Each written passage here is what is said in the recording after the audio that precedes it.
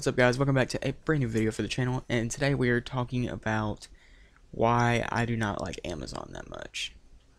So, if you guys would have seen yesterday's video, uh, then you would have heard me, possibly if you would have caught it, say, me say that Amazon's where I buy all my stuff, and yeah, um, I'm gonna, like, pretty soon stop buying from them because so, a couple weeks ago, I ordered a headset for my Xbox and one that I can wear while streaming or videos or whatever. Um, but anyway, so I waited.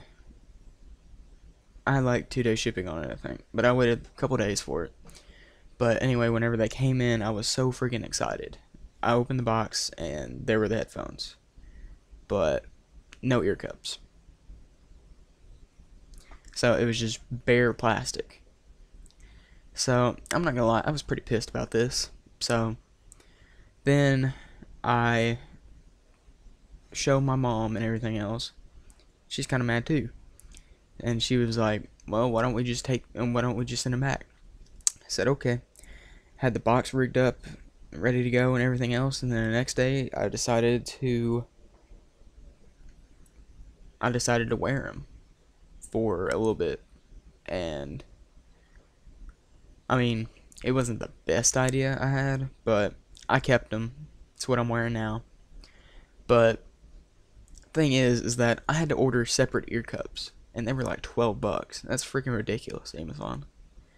But I mean, I've got the ear cups on my headphones now. I've got my headphones all set up and good. They're all perfect. It's what I'm recording on now. That's what I've recorded pretty much every single one of my videos on. But yeah, that was pretty crappy of you guys, Amazon. Um,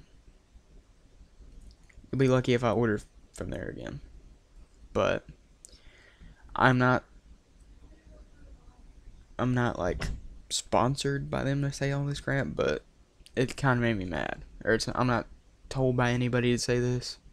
I didn't mean sponsored, but Nobody's told me to say this. This is a real life experience that has happened to me, and it's stupid.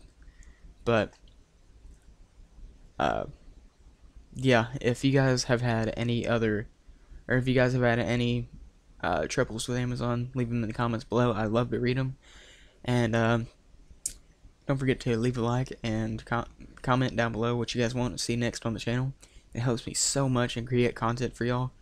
And, uh, don't forget to subscribe. That also helps me to keep keep getting motivated and keep making videos for y'all.